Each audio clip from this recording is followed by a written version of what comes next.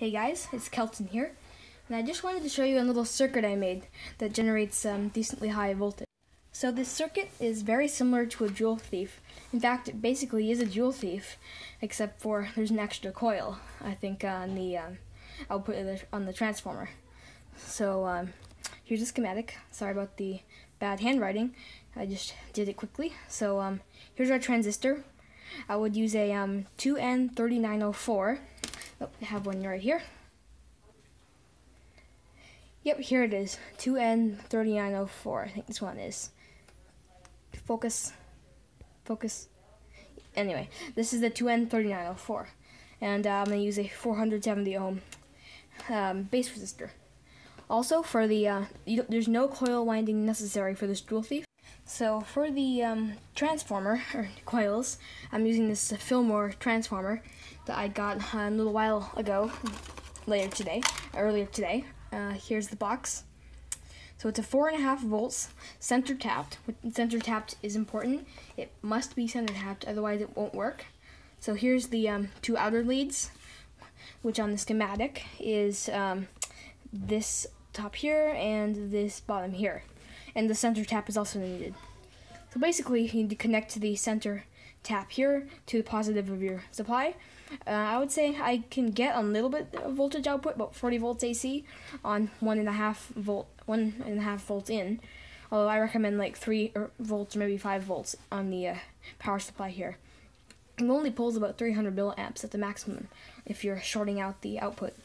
Also, the output current is like 350 to 400 microamps at 70 kilohertz.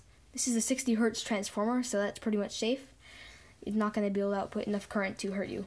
Luckily, otherwise this project would be a um, dangerous one. Luckily, no, disc no disclaimer needed. Alright, so I have the circuit now built on the breadboard.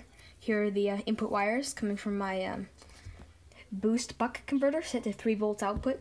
I have a maximum current of about 400 milliamps, limited in case something goes wrong.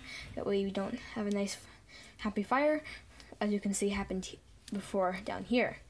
Here's our um, 470 ohm resistor for the base, which basically gets connected to one of these wires here, doesn't really matter, and the other one gets connected to the transistor's collector. So um, I'll, I'll link a schematic in, in the uh, description below where I found this. And then here's the output here. They're just on this voltage rail here.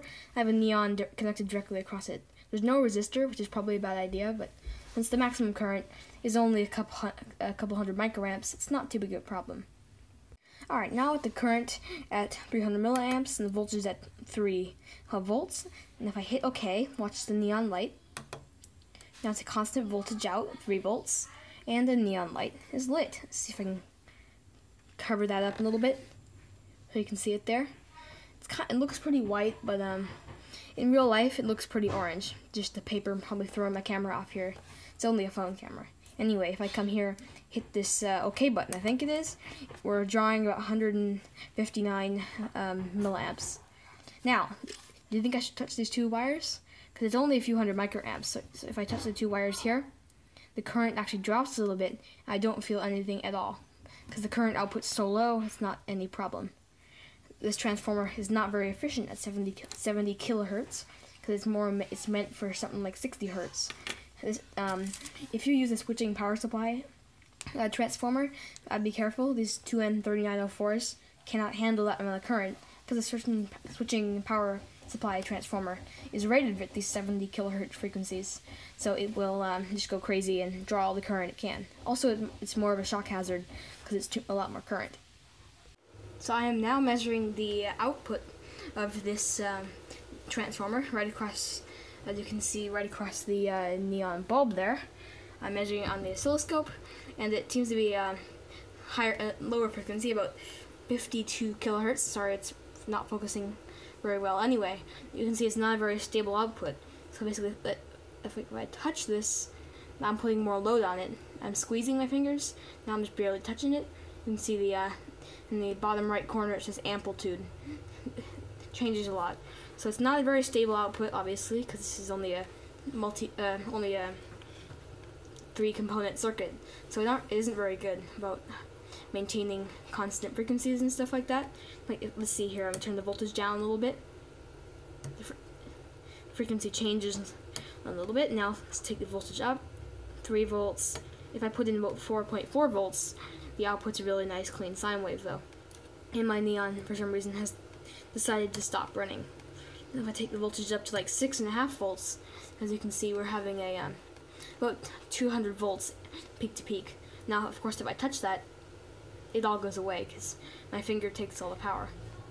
One other interesting thing I figured out is that the voltage is now, uh, camera, the voltage is now um, 3.7 volts in.